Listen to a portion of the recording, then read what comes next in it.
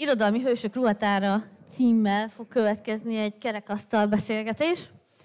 Mégpedig, hogy minden író kicsit pobázik, amikor történeteket talál ki. Vajon mennyire fontos számára a szereplői ruhatára? Honnan merít ihletetet? Mitől lesz trendi a ruha? Korhű vagy éppen futurisztikus? És mi a helyzet magával az íróval? Ezekre a kérdésekre keresik a választ majd német Attila, a Galaktika irodalom szerkesztője, beszélgető társai, magyar írók, Tarja Kappinen, Gréta May, Szélesi Sándor és Varga Csaba Béla. Fogadjátok őt, őket nagy szeretettel! Hát üdvözlök mindenkit, Német Attila vagyok, a Galaktika magazin irodalmi szerkesztője, és hoztam magammal írókat. Egyel kevesebbet a tervezetnél, mert hogy egyikük lebetegedett. Gréta May alias Kecskés Nikoletta sajnos nincs itt velünk, aki jobbról a második, de hát ez fölismerhető, hogy azt hiszem beazonosíthatók a szerzők.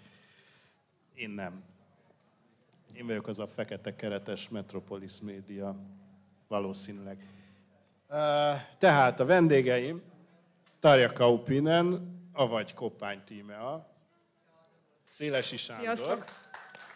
Sziasztok! Avagy Anthony Sinárd, illetve Varga Csaba Béla, avagy... Béla.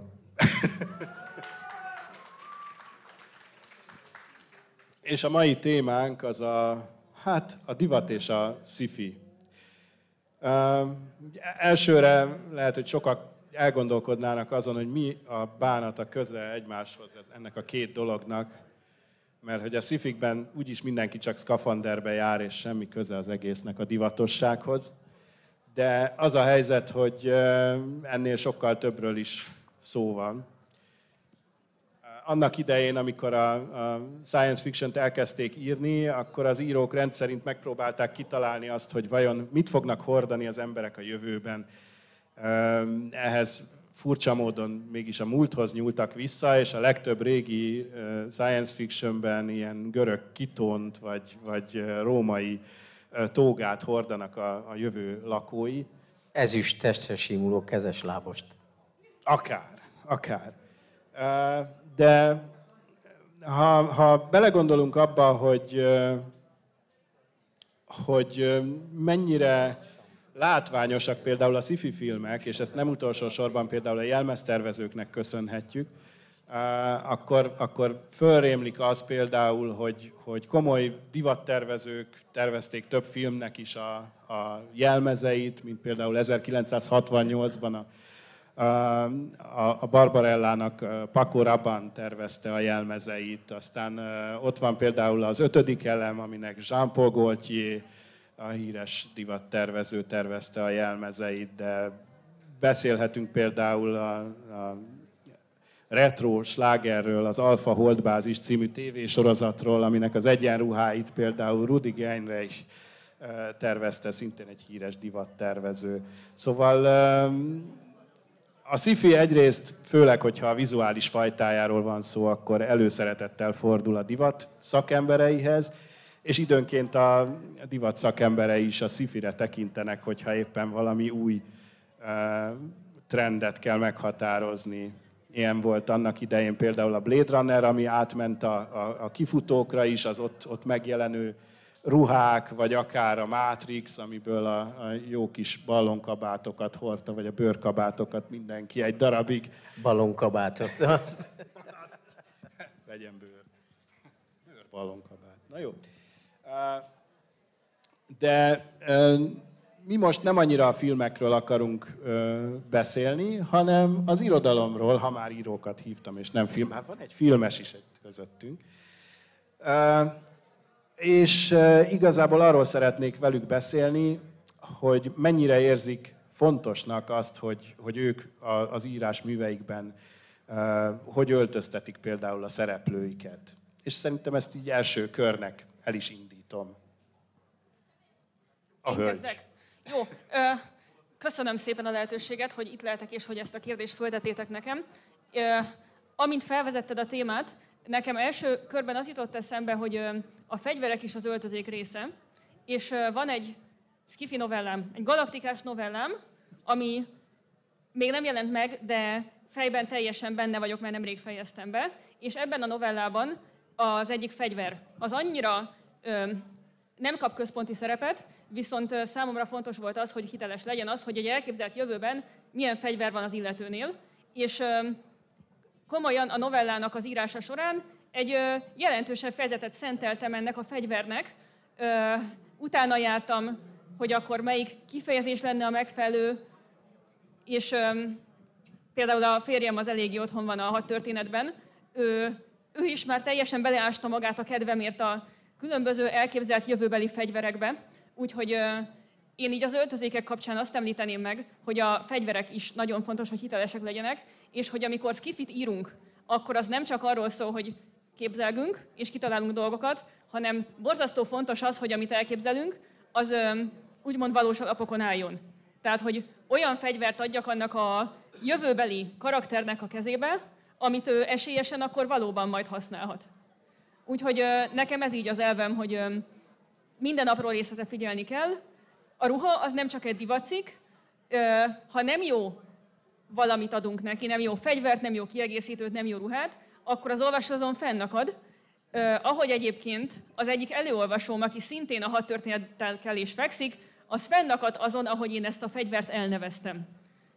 És ezen hosszan vitatkoztunk, és akkor egy ilyen arany középút lett a fegyver neve a végén. Egyébként nem bonyolítottam túl a dolgot, de a lényeg az az, hogy még ha jövőben játszódó skifit írunk, akkor is vissza kell nyúlni a történelembe, és onnan építeni fel a dolgokat. Sándor? Borzasztó nehéz öltöztetni a főhősöket, vetkőztetni sokkal könnyebb, ezt el kell mondani. Na most, ugye én fiúból vagyok, ami azt jelenti, hogy a, a, a divattal való kapcsolatom így, így kicsit, kicsit szörmentén fogható meg, és ezért aztán én megpróbálom elkenni a, a főszereplőimnek az öltözékét, és ennek egyébként több oka is van. Az egyik oka az, hogy ha belegondolunk mondjuk az 50 évvel ezelőtti szifikben, igen, vagy tógában, vagy teses simuló, ilyen nyakig kezes lábosban szaladgáltak már a, a, a szereplők a, a vásznon, vagy akár ha belegondolunk az eredeti Star Trekbe, hogy milyen, milyen típusú ruhát hordtak. Tehát ha az ember megírja a napi divatnak megfelelő öltözéket, akkor az 20-30 év múlva lehet, hogy vicces lesz. Tehát ugye a western cuccok beválnak, mert a Firefly-tól kezdve a, a Star Wars-on keresztül a western cuccok mindig beválnak, azok működnek. A nagyon extrém cuccok is beválnak, a, a, a, ami már annyira extrém, hogy, hogy soha a történelem folyamán senki nem fog ilyet fölvenni, de azt általában az író nem írja le, az jól mutat a vásznon, jól mutat a képregényekben, jól mutat a képregény adaptációkban de egy könyvben nem igazán. Ezért aztán én inkább elkenem a dolgokat, ami azért problémás, mert egy idő után, amikor szükségem van arra mondjuk, hogy a főhős valamit zsebre tegyen, vagy cipeljen magával, akkor rájövök, hogy nincsen zsebe. Példának okáért. Um, amit az író ilyenkor tehet, az az, hogy a főszereplőjére rárak egy vagy két olyan ruhadarabot, ami aztán a főszereplőjének a, az attribútuma lehet. Mondjuk a legismertebb ugye mondjuk a Sherlock Holmesnak a kalapja meg a, a pipája. És mindenki tudja, hogy egy kalapot meg egy pipát látsz, akkor, akkor Sherlock Holmesról beszélünk, de ugyanez... De egyiken sincs zseb. Egy, egy, mm, valahol, valahová azért csak elteszi a dolgokat. Um, tehát ezt, ezzel tudom kiváltani azt, hogy én tulajdonképpen egy link alak vagyok, aki nem írja le hogy a, a, a szereplője miben van, hogy egy vagy két ilyen jellegzetes ruhadarabot kap, amiről aztán felismerhető, meg hogyha nagyon azt akarom, hogy lássa maga előtt a, az olvasó, akkor erre gyorsan visszautalok, hogy amit tudom én, a sárkányos csizmájával taposta agyon a, a szörnyű kígyót, amelyik megtámadta balról a díszletek mögül. Tehát akár... De akkor nagyon kell figyelni, hogy, hogy három, vagy négy, vagy tizennégy oldallal korábban ne azt írt, hogy balettcipő volt rajta. Na ezért ragaszkodik az ember egyes ruhadarabokhoz, de az különben is a szerkesztő majd megfigyeli, hogy, hogy, hogy mi van a, a lábán, meg a kezén, a, meg a hátán. Jó esetben. Igen. Csaba? Béla. Na jó, be kell valljam.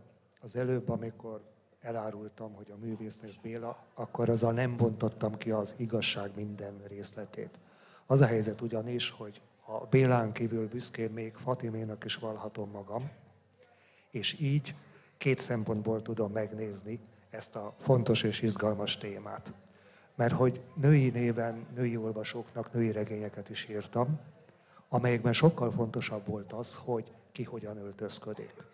Amikor férfiként férfiaknak írok kalandregényeket, szórakoztató regényeket, ott nem annyira fontos az öltözék. Nézzen ki jól, esetleg egy-két mondatban megemlítjük, de a történet legyen az, ami magával ragadja az olvasót és sodorja tovább. A nőknek szánt regényekben viszont elengedhetetlen az, hogy az ember alaposan utána járjon. Ahogy Tárjas mondta, hogyha a jó fegyver öltöztet, akkor fegyverkovácshoz elmegy, megbeszélével hat történeti tanulmányokat folytat. A kedvenc témámban, a háremek világában pedig meg kellett nézni, hogy valójában mit viseltek például a háremhölgyek, illetve hogyha az, amit viseltek, nem volt annyira klassz, nem volt annyira látványos, akkor mivel lehetne szórakoztatni az olvasót. A science fictionben megkülönböztetném azt, hogy mi az, amit írunk. Regényben van lehetőség és hely arra, hogy kifejtsük esetleg jobban a szereplők öltözékét, ruháját. Novellában többnyire nincsen. Novellában akkor megyünk ebbe bele, hogyha az adott ruhadarab valamiért nagyon fontos a történet szempontjából, jellem szempontjából, illetve akkor, hogyha ki akarunk kacsintani az olvasóra, és egy olyan viccet akarunk elsütni, amit esetleg nem akarunk egészen pontosan szavakba ölteni. A nagy különbség azonban az, hogy amikor van rá hely, oldalszám, és van rá igény az olvasók részéről, akkor érdemes vele menni. Hogyha a hely nem teszi lehetővé, vagy az olvasó inkább azt kéri, hogy szórakoztassuk, akkor nem foglalkozunk vele. Eszembe jutott még, még néhány példa, amit ugye el akartam mondani, hogy például, ha már a sci irodalmi részéről beszélünk, Philip K. Dick már az 1950-es években megelőlegezte nekünk Harry Styles-t és Sam Smith-t, ugyanis nagyon sok, tehát a férfi szereplőit ilyen legjobb esetben is unisex, de akár női jellegű ruhákban is szerepeltette, mert hogy a jövőben majd így fognak járni. És hát aztán, ha a legextrémebb science fiction öltözéket, vagy annak a hiányát akarom elmondani, akkor Isaac Asimovnak volt a Mezitelen nap című regénye, és hát abban nem csak a nap volt mezitelen. Ott egy, egy olyan bolygón játszódik a történet, ahol az emberek, tehát viszonylag nagyon kevés ember él, és azok nem is szeretnek egymással találkozni, és hát a, az ilyen telekommunikációs eszközökkel való kapcsolattartásnak az is része, hogy mondjuk azt, hogy nem öltöznek ki. Ez Elasimov megoldotta a problémát, amiről most beszélünk, ugye? Igen, de, de zseb nem volt rajtuk. Ez, ez tény.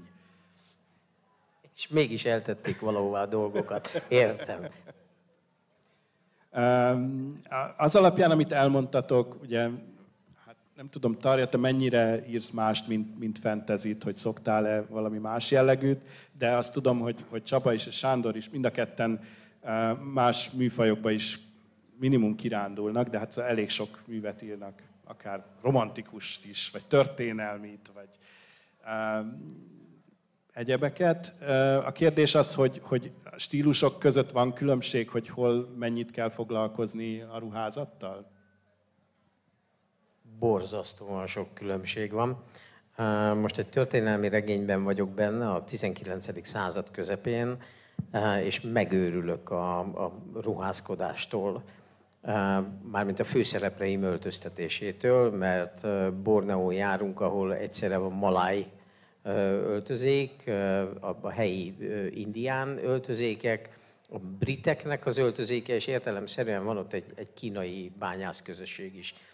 És hát nyilvánvalóan amikor megjelenítem a szereplőket, a főbb szereplőket, akkor ide viszont hozzátartozik az, hogy az ember leírja, hogy hogyan néznek ki.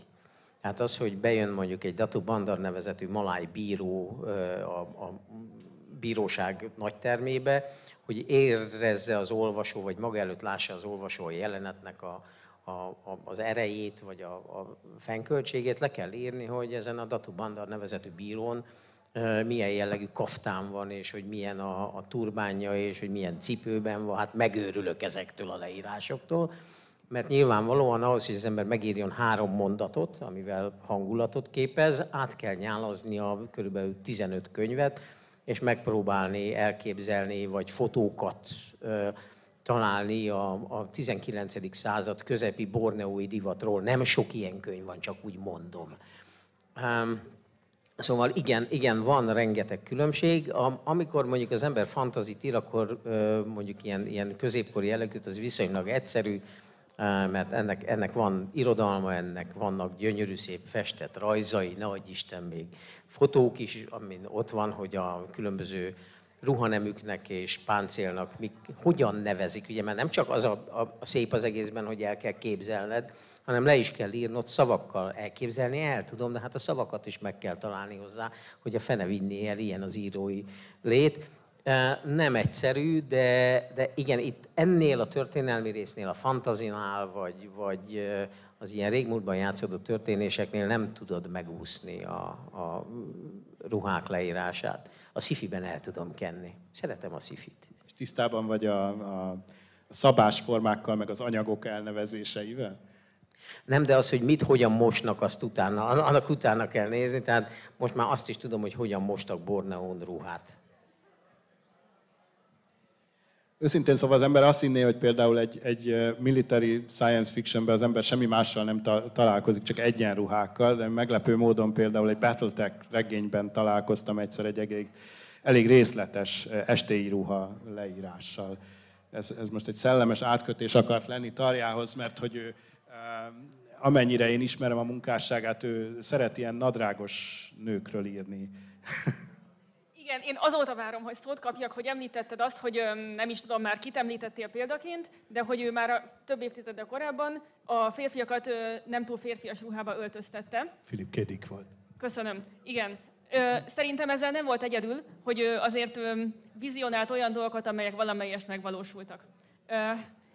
Van egy novellám a Galaktikában, ez egy olyan novella, ami komolyan, hogyha velem valaki találkozik, akkor 90% hogy ezt a novellát említi, hogy oh, te írtad az ararátot. Annyiszor volt már ez így, és ez a novella, ez nem mondom el, hogy miről szól, mert nem is az a lényeg, hanem a főszereplő hölgy karaktere az eléggé leírható azáltal, hogy ő egy ilyen terepszínű kezes lábasban mászkálott végig a novellán. Nem katona, hanem a közeljövőben játszódik az egész Európában, tehát nem megyünk messzire, és mégis ő, ő nem egy ilyen nőies alkat.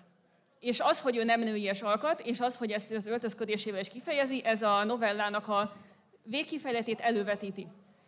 Tehát ha az olvasó az ö, szemfülesen olvas, akkor már ö, nem fogja ő talán annyira szíven ütni a végkifejlet, de eddig mindenkit szíven ütött. De az a lényeg, hogy ö, a, az öltözködés az abszolút nem öncélú, hanem tényleg adhat egy támpontot az olvasónak, hogy most akkor itt mi lesz, az, a karakternek a jelleméről is sok mindent elárulhat. Úgyhogy például ebben a novellában, hát igen, a nő az kapta ezt a terepszínű kezeslábast, a férfi az meg szintén ott neki is tök fontos volt az öltözködése, ő meg ilyen márkás cuccokat kapott, és akkor én is ott, mint te a Borneóval, én is szépen bele kellett, hogy ássam magamat a jelenkor svájci divatjába. Úgyhogy tényleg, de még azt is megnéztem így kicsit kitérő divattól, de hogy jelenleg milyen fájdalomcsillapítót vesznek be Svájcban akkor, hogyha fáj a fejed. Mert nem algopirint. Úgyhogy igen, ez azért jó írónak lenni, mert polihisztorok leszünk. Tehát én annyi információt megtudtam az írásaim kapcsán, hogy nem is tudom. Tehát olyan dolgoknak kell utána néznem, hogy tényleg az írás nélkül nem néztem volna utána ilyen dolgoknak. Na de hogy ne kanyarodjak el a témától, valóban az a fontos szerintem, hogy a karakterek öltözködése az a jellemüknek az ö, kivetülése, úgymond. Tehát akkor jó egy öltözet, hogyha az elárul valamit a viselőiről, és ez az irodalomban hatványozottan igaz, én így gondolom. Az jutott eszembe egyébként, hogy 40-50 évvel ezelőtt mit csináltak az írók. Mert most fogod magad, fölmész a netre, és megkeresed azokat az anyagokat, amire szükséged van. Amíg 50 évvel ezelőtt bementél a Szabó Ervin könyvtár 23. kerületi fiókjába, és feltetted a 60 éves könyvtáros néninek, hogy szeretnék a borneói kínai bányászok öltözékéről valami szakszöveget, akkor az első alkalommal talán még előbányász valamit a, a nagy könyvtárban, de hogy a másik, harmadik alkalommal már sörétes puskával lő utánad, az is biztos. Tehát nekünk most könnyű dolgunk van most már, de... Régen tudod, mit csináltak Verne meg Jókai? Kitalálták, amit nem tudtak. Tehát ezért van az, hogy mondjuk Verne fentezéi azok ö, nagyobb mennyiségben tartalmaznak fikciót, mint szerintem a jelegiek. Mert most Verne az nem nézhetett utána a neten annak, hogy a Holdon ott mi hogy lenne reális. Úgyhogy ő, ő szerintem még így a fantáziáját jobban igénybe vette, mint mi, vagy hát igazából máshogy vette igénybe. Mondjuk a holdi divatról most se tudunk sokat. Kitaláljuk. Kicsit poros lehet. Csaba, neked nagyon sok történeted van, ami ilyen indiai ihletettségű, és ezt eh, első kézből szedted az információkat. Er, egyrészt erről kérdeznélek, a másik pedig az, hogy, hogy és, és Fatimához hogy sikerült így utána kutatni? Jártál ott is esetleg? Háremekben kutakodtál? Vagy? Gyakorlat eunoknak tartanak. A, az írás folyamata, többiek is elmondták, tanulás folyamata. Amikor össze, kitalálunk egy történetet, akkor megpróbáljuk annak a lehető leghitelesebb, de ugyanakkor leginkább tetszetős, lenyűgöző hátteret megadni. Ha a műfaj olyan, akkor nem igényel kutatást, akkor szabadon csaponghat a fantáziánk. Az a lényeg, hogy látványos legyen, betartjuk a saját szabályainkat, hogy az a világ, amit alkotunk, vagy az a ruhatár, amit alkotunk, a saját szabályon belül működjön. Más műfajok esetén például a történelmi regények, ott viszont be kell tartanunk az ismert valóságot. Külön kategóriának tartom a múltban játszódó tudományos fantasztikus történeteket, amikor is vonatkoznak ránk a megkötések, hogy a múlt legyen olyan, ahogy azt a történelemkönyvekből megtanultuk. Ugyanakkor viszont, mivel ez egy fantasztikus történet, eltérhetünk a nagykönyvben rögzített szabályoktól. Persze csak akkor, ha ennek valamilyen logikus oka van a történet vagy a hősök szempontjából. Fatima és India mind a kettő arra vezethető vissza, hogy meglehetősen nagy mértékben érdeklődöm a napkelet színpompás, kavargó, érdekes illatokkal, színekkel és energiákkal teli világa iránt. A, na jó, bevallom, megint füllentettem, mert nem voltam soha háremszolga, bár ezt a lehetőséget többen felvetették, hogy talán jobb lett volna az emberiségnek. Ám én is láttam több részt a Szulejmán sorozatból, és ez majdnem akkora hatással volt rám, mint egy világkorszakkal ezelőtt, amikor a hazai mozikba bekerült a Sandokan, a Malai Tigris című film, ami egy egész nemzedéket ihletett meg. Nem véletlen, hogy több olyan magyar tudományos fantasztikus novellát lehet olvasni, amelyeknek az íróit, amelyiknek az íróira hatott az a színpompás világ. A Fatimáról pedig annyit szeretnék mesélni, hogy bejött ez a sorozat, a Szulejmán sorozat, és számomra egészen meglepő módon hatalmas sikert aratott a magyar nézők között.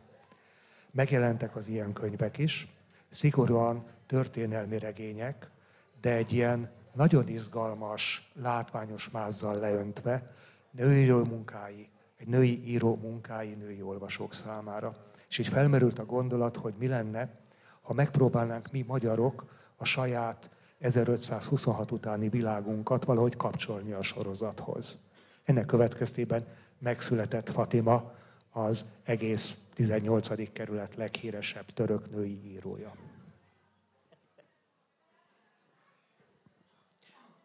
Az a kérdés jutott eszembe közben, hogy vajon hogy álltok neki egy szereplő megtervezésének? Tehát, hogy van-e valami ilyen előkép a szemetek előtt, esetleg leskiccelitek, vagy esetleg egy, egy, egy filmsztárnak a fotóját kiszögelitek a falra magatok elé, hogy na nagyjából így kéne kinézni az illetőnek, és aztán onnan lesitek le, hogy ah, akkor így hordja a kalapot, vagy a sapkát, és akkor ilyen pulcsia van, vagy, vagy bőrkabátja, ballonkabátja, ne adj Isten.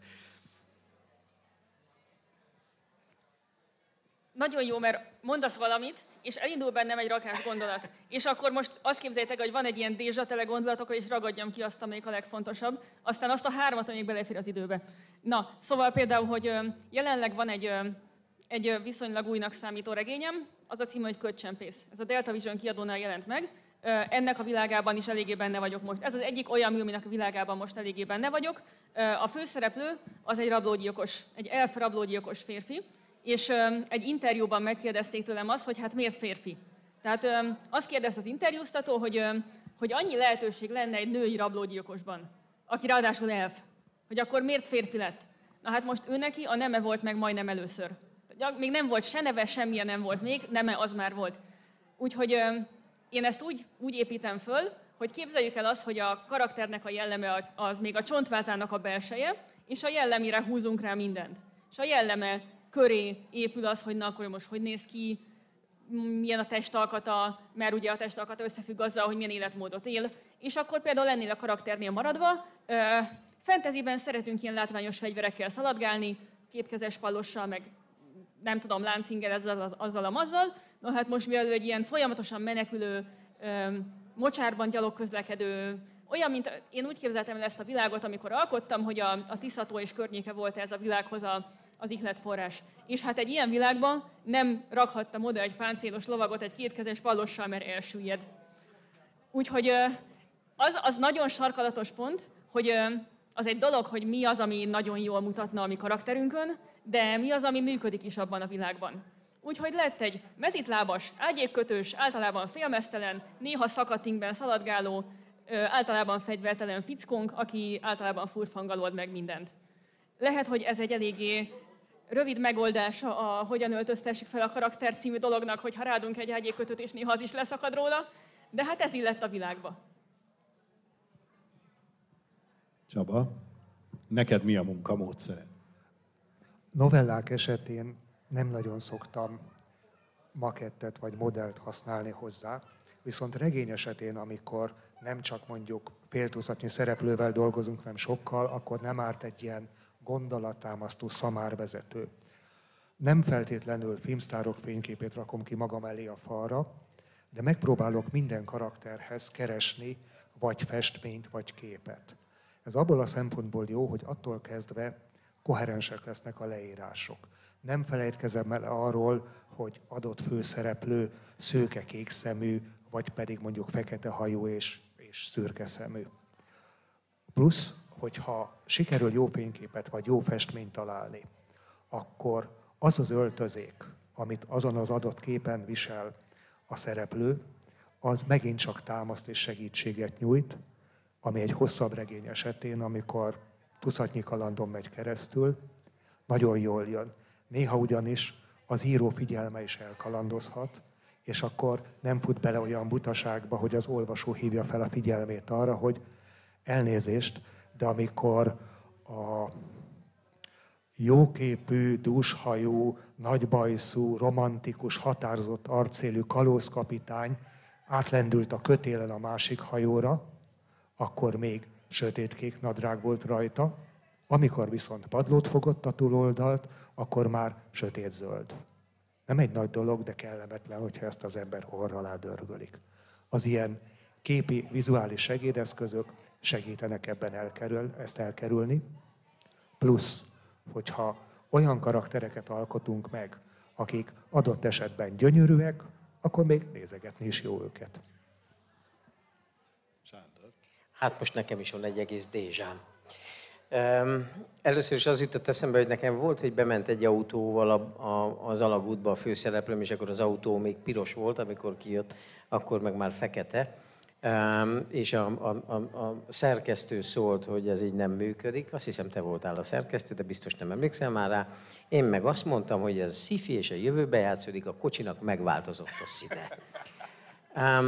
Ez volt az egyik, ami gyorsan eszembe jutott. A másik, hogy hogyan teremt az ember karaktert, és annak hogyan lesz arca, hát először is kérlek szépen én lelkeket lopok.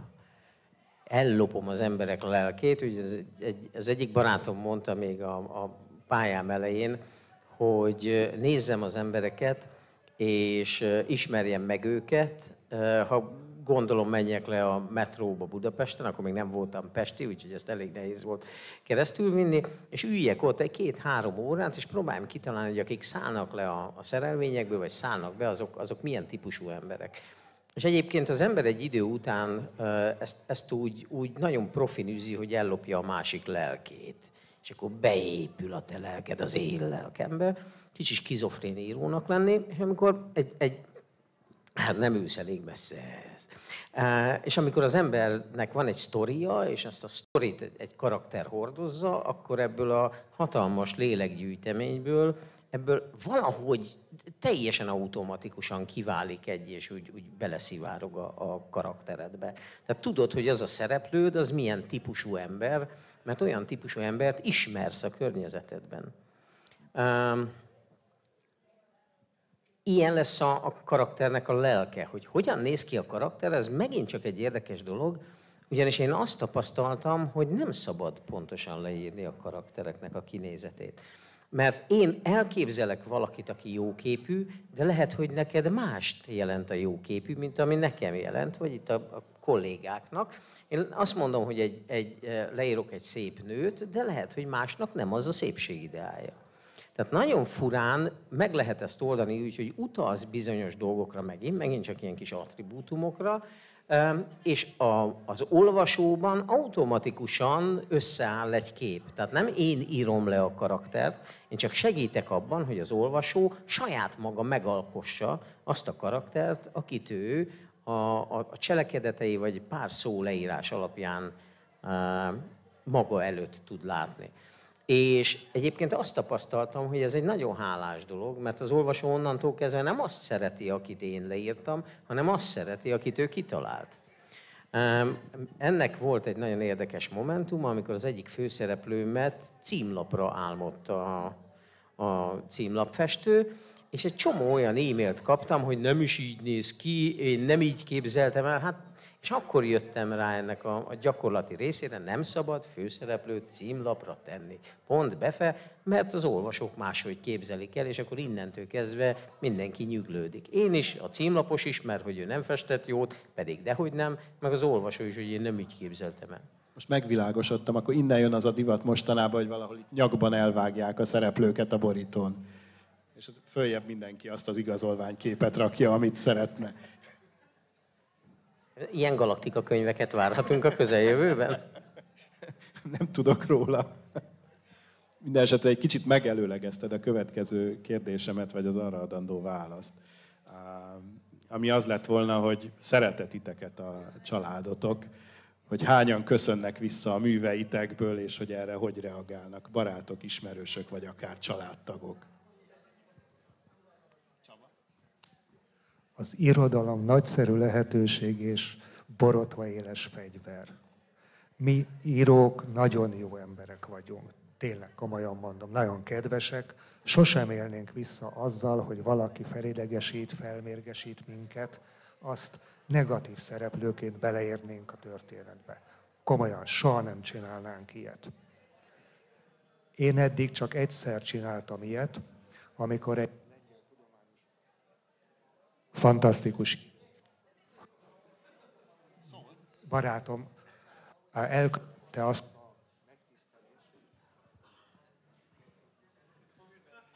hogy beleírt az egyik regényébe, amelyben helikoptert vezettem, majd egy sárkány darabokra tépett és elzabált.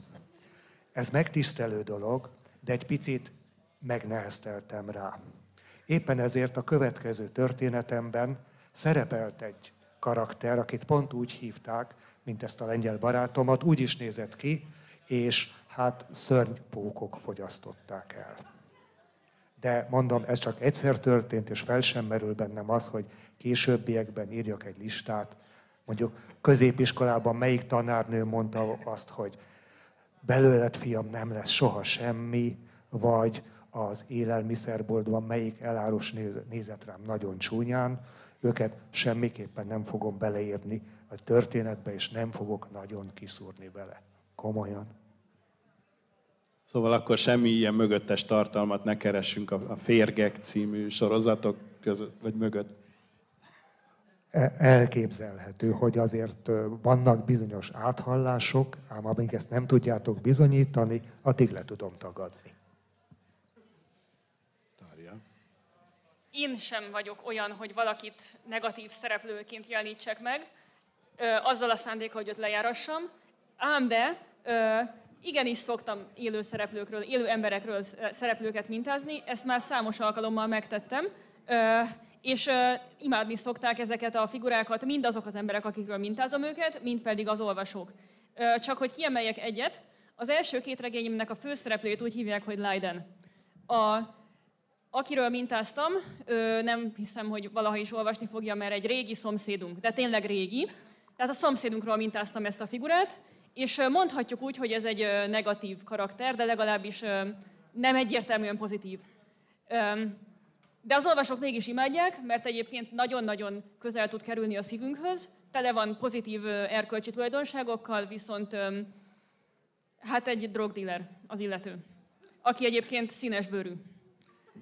Szóval ambivalens az illető, de lényeg az az, hogy egy olyan emberről, aki a való életben nem volt egy pozitív karakter, csináltam egy olyan szereplőt, akit imádnak a női olvasók. Úgyhogy igenis szerintem az egy kimondottan jó dolog, amikor az ember a valós életből vett szereplőkről, valós életből vett emberekről szereplőket mintáz, ez tök hasznos tud lenni, de általában ezek nekem pozitív szereplők lesznek.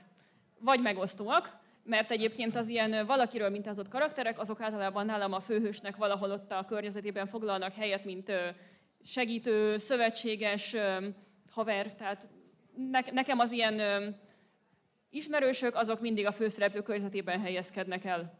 És mondom, van egy szomszéd, van egy volt sportárs, van egy volt haver, akiből karakter lett, és imádni szokták, aki, akiből karaktert faragok. Senki nem jelezte még azt vissza, hogy te miért csináltál belőlem patkányból gírosz sütő migránst. Mert ilyen is volt már, és hát az illető az röhögött rajta, hogy, hogy mennyire így sikerült megragadnom a jellemét, így az ő szavaival élve. Á, én galád vagyok, én megcsinálom. Tehát adott esetben a, barátaimat is beleírom, ha kell, vagy ha úgy, úgy, úgy jön össze, akkor névvel, de ne adj Isten, még csak nem is névvel, hát mert a Láthatatlan Város című mágikus realista novellás kötetben nem csak a nevük, hanem ők maguk is a jellemükkel szerepelnek tehát felismerhetőek a, a, a, a karakterek, de akár azt is megcsinálom, hogy csúnya és gonosz velem valaki, akkor valahol az írás az egy pszichés ö, ö, lélek kijöntés is. Ventilálás. Tehát igen, igen, tehát Például volt egy, egy Csaba nevű barátom, aki és az egyik ilyen uh, fantazi novellában uh, én őt megtettem főszereplőnek, és nagyon-nagyon izé, hősies, heroikus befejezése lett a novellának, és aztán ez a Csaba nevű barátom, kvázi fogalmazunk finoman, nem szolgálta meg a, a, a barátságunkba vetett bizalmamat, tehát, tehát kvázi, kvázi elárulta a barátságunkat, hogy kicsit drámaian fogalmazok, úgyhogy amikor a novellának az újra kiadására került a sor, én olyan kegyetlenül kinyírtam a végére, amilyen kegyetlenül ki lehet nyírni, és már is jobban éreztem magamat egy, egy, egy kicsikét. De egyébként nekem az a tapasztalatom, hogy ha nem nevezed néven az embert, vagy nem teszel bele olyan, olyan utalásokat, hogy tudja, hogy kiről van szó, akkor sosem ismernek magukra. Az embernek az önképe mindig más, mint ami, ami, ahogy kívülről kinéz. Tehát ahogy én őt látom, ő nem úgy látja önmagát. Tehát amit én beleírok a történetbe, ha csak nem mondom, hogy ez te voltál, akkor, akkor nem fogja felfedezni. Viszont megvan a fordítottja is, Kaposmáron voltam újságíró még, még a, a, a, az életem egy rettentő borzasztó szakaszában, és akkor írtam egy, egy sci novellát, ahol öt űrhajós üldöz egy idegen lényt, és ők lesznek az űrhajó, felszívódnak az űrhajó falába, aztán kiderül, hogy egy, egy nagyon, nagyon, nagyon borzasztó, kemény novella volt, mert aztán az idegen lényt egy apácazárdában kellett tetten érniük valamelyik apácában. És és elkészült, elkészült a mű, megjelent, és odaadtam az egyik újságíró kollégám kezébe, és hozza vissza, ugye ez egy novella volt összesen, hozza vissza a novelláskötet, és mondja, hogy te figyelj Sándor, beleírtál mindenkit a szerkesztőségből, és mondtam neki, hogy nem, hogy, de miért írtam volna, mert akkor figyelj csak. Elkezdte lapozni, és mondta, hogy itt van ez a, a szereplő, de ez pont olyan hisztis és idegesítő, mint a, az Otto, a főszerkesztő helyettesünk ez itt Kuruc Pista bácsi. És így, így végigvette a szereplőket, és én ott ültem döbbenten, hogy valóban beleírtam a környezetemben lévő embereket egy ilyen rettentően vidám és pervers sci novellába. Szerintem azóta se, ők, nem, nem tudnak róla, nem tudnak róla. De én úgy el tudom képzelni, hogy a történetnek az a vége, hogy ilyen rosszalóan azt mondja, hogy mindenkiről írtál, csak rólam nem. És akkor azt mondtad, de te vagy az idegen.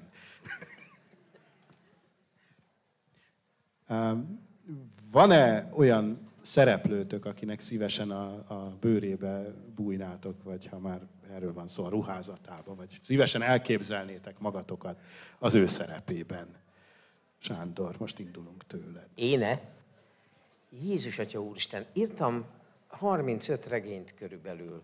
Um, biztos, hogy, biztos, hogy van, mert, mert ha Ugye csomószor fölteszik a kérdést, hogy az író az mennyire a saját szereplője, tehát mennyire vagyunk benne a saját szereplőnkben.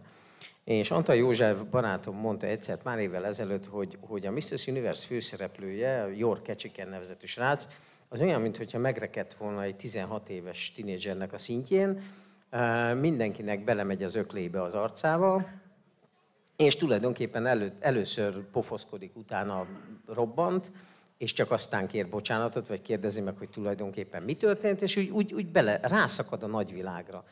És akkor én úgy, úgy belegondoltam, hogy valószínűleg nekem ez a, a rászakadok a nagyvilágra dolog nagyon, nagyon bejön a York és hogyha élhetnék, akkor jó, kevesebb gyilkossággal valóban, de akkor, akkor egy ilyen, ilyen, ilyen uh, űrhajós, uh, kalandoros, uh, megmentjük a félvilágot dologba, benne lennék szívesen a bőrében. A ruha mindegy, csak megmenthesd a világot. Figyelj, van egy sárkányos bőrkabátja, nekem ez rohadtul tetszik. Uh, jó kérdés, hogy melyik szereplőnek bújnék a bőrébe per a ruházatába. Az előbb említettem ezt a többnyire csupán egy ágyékötőben szaladgáló, sötétebb rablógyilkos férfit, és a bőrébe szívesen bújnék. Az öltözékét azt lehet, hogy azért kicsit átgondolnám, ha én lennék ő. Várj, ő a drogdíler? Nem, nem okay. de tele vagyok színesbőrű férfi szereplőkkel valami oknál fogva, már az önismeretem már dolgoztam ezen, hogy ez vajon miért lehet. Na de lényeg a lényeg, hogy erről a illetőről most írom a harmadik kötetet. Az első már megjelent, a második már le van adva, a harmadikon dolgozom. Lényeg az, hogy évek óta nap mint nap vele kelek és fekszem. És ö, már az első kötet idején gondolkodtam azon, hogy én ezt az embert elfett, bárkit valahonnan én ismerem. És uh, tudod, milyen az, amikor gondolkodsz azon, hogy de honnan? Megírtam egy kötetet, nem jöttem rá. Arra jöttem rá, hogy de nincsen a környezetemben ilyen ember, tehát mindegy. Eljutottam addig, hogy nem jó irányba keresem őt. Oké, elkezdtem írni a másodikat, leadtam, tehát telt múlt az idő, és a második kötet már le volt adva, amikor közben önismereten dolgozom folyamatosan, amikor egy Jung kötet, tehát Carl Gustav Jung kötet olvasása közben bevillant, hogy ő az animusom. Ugye, mint tudjuk, az animus az egy személyiség rész, ami az ellentétes nemű személyiség. Tehát van ugye több én részünk, és nekem Hasztur, a Kötcsempész című regényem főszereplője az, az animusom. Tehát az az én részem, aki a velem ellentétes nemű és személyiségű én részem. És hogy ez miért jó? Azért jó, mert ez az én rész, ez azt csinálja, hogy ellentétes velünk, tehát ellentétes a szerepszemélyiségünkkel, és az, hogy egy rablógyilkos, aki folyamatosan menekülésben van és csallop, hazudik, rabol, az az ellentétes én velem. Tehát például tök érdekes, hogy a bűnözőknek a animusa per animája az általában egy pozitív személyiség. Na most az, hogy az én animusom az egy bűnöző, az azt jelenti, hogy én viszont egy pozitív személyiség vagyok. Úgyhogy er, erre jöttem így rá, miután megírtam már több mint két kötetet őróla, ami azért is jó, mert ahogy te is mondtad, hogy egy folyamatos ilyen lelki munka az írás, és ezt abszolút el tudom támasztani, mert most, amit írok jelenleg, ez a trilógia, ez egy kis kalandregényeknek tűnnek, de, de tökre nem az. Tehát hiába látszatra fentezi kalandregény, elfekről, meg rablógyilkosokról, meg elfrablógyilkosokról, igazából valójában ez egy kőkemény pszichológiai munka, ahol az író a saját lelkét keresi, kutatja, vájkálja, ássa le a padlóig, és, és olyan dolgot tud meg magáról, amit nem is gondolt soha. A felületes szemlélő könnyen gondolhatná azt, hogy magamról írok sok történetet, hiszen a történetem főszereplői kivétel nélkül szépek, intelligensek, kedvesek és szerények. A látszat azonban csal. Ezek nem az író, hanem olyan karakterek, akiket az író kitalált, hogy elmondjon valamilyen mesét. Persze, én is fogok majd írni egy olyan történetet, aminek a hőse én leszek, a munka címe már meg is van, valószínűleg az lesz a címe, hogy Superman kalandjai. Most már nagyon az utolsó perceket fogyasztjuk, úgyhogy megkérdezném itt beszélgető társaimat, hogy maradt-e bennetek valami elmondatlan, amit még szeretnétek elmondani így kérdés nélkül, mert én kifelejtettem a kérdések közül. Tímea. Én jobb vagyok akkor, ha rákérdezel dolgokra, mert mondom, egy ötletláda hever előttem tele ötletekkel, és nem tudom, melyiket húzzam ki. Ha felteszel kérdést, szívesen válaszolok rá.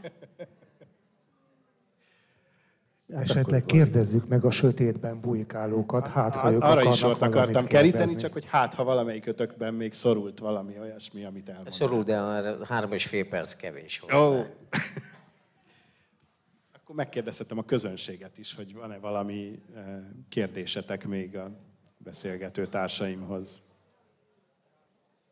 A láthatatlan közönséget. Igen,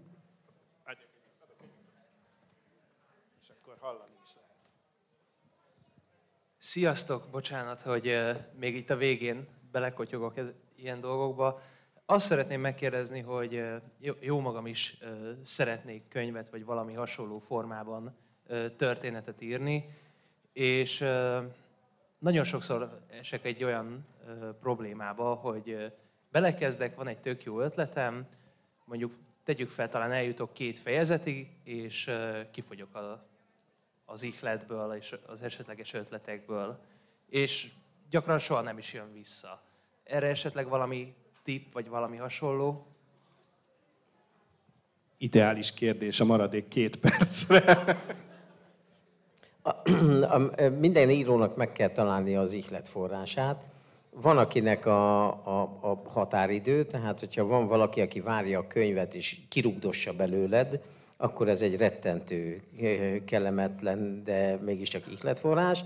Ismerek olyas valakit, aki cigihez és kávéhoz nyúl, illetve hát van, akinek drogdílere van, és kész, ennyi. Um, néha, néha én, én például a Mr. Universe regényeket vörösboros regénynek tartom, hogyha elakadok, kitöltök egy pohár vörösbort, ha sok Mr. Universe regényt írok, az már közel áll az alkoholizmushoz, ezt így be kell vallanom. A, a, a fantazik azok könnyed, fröccsös regények, tehát azzal nincsen semmi gond. Tehát az az igazság, hogy minden írónak meg kell találni, egy valamire figyeljél, ahhoz, hogy elkezdesz egy írást, hogy a végére is érj, rendszeressé kell tenned a, a, a munkát. Tehát ha csak 15 perc naponta, de ülj le 15 percig naponta. Tehát nem szabad azt csinálni, hogy, hogy kihagysz egy-két napot vagy három napot, le kell kényszerítened magadat, hogyha két sort írsz, két sort írjál, de, de meg legy, legyen meg az a 15 perc, 20 perc, 25 perc, amit biztos a gép mellett töltesz. Ha azt tapasztaltad, hogy egy regénynek neki futni még nem ment, akkor ne regényt írj, hanem novellát. Határozd meg az alfát, az omegától el akarsz jutni, juss el oda Utána írj egy újabb novellát, esetleg egy másik hőssel, aztán egy harmadikat. Amikor eljutsz a hatodikig, akkor már könnyedén menni fog a regény is. Nagyon optimista voltál. Igen, az mindenképpen egy kiváló ötlet, hogy novellákkal érdemes kezdeni, pusztán azért, mert rövidebbek. Kevesebb bennük a szereplő, könnyebb őket kezelni. Van több olyan író ismerősöm is, a különböző fokán az íróságnak, de általában a kezdőíróság különböző fokain, akik abba a hibába estek, hogy tele voltak ötletekkel, és az ötletek maguk alá temették őket. Rengeteg karakterük volt, egy teljes világ megjelent előttük, és egy akkora volumenű projektbe vágtak bele, amiben nem bírtak így elsőre. Úgyhogy én azt javaslom tényleg, hogy kezdetben kicsiben, tehát terjedelemben kicsiben gondolkodj, írjál egy perces novellákat, írjál pároldalas novellákat, egy gondolat legyen egy szöveg, és ha már ez jól megy, akkor vág neki egy nagyobb terjedelmű szövegnek. És ahhoz, hogy ne hagyj ki egy napot sem, az annyit tennék hozzá, hogy új módon ki lehet hagyni napokat, hogy nem kell minden áldott nap konkrétan írni. De minden nap foglalkozz vele. Tehát az is szerintem írásnak számít, amikor például kutatsz. Mert ha épp olyan fázisban vagy, hogy a borneói nem tudom kiknek a ruházatát kell kikutatni, akkor az is az írásnak a része, hogy te utána jársz annak a dolognak. Úgyhogy igen, legyen folyamatosan a fejedben ott az, amint te éppen dolgozol, és egy rövidebb projekttel kezd. Vagy több rövidebb projekttel, mert azok a legjobb gyakorlóterepek. Vegyél példát Csabáról, érted, amikor a háremről ír, elmegy és kutat a háremben. Köszönjük szépen, nekünk lejárt az időnk, reméljük elég szórakoztatóak voltunk. Köszönjük a figyelmet. Köszönjük.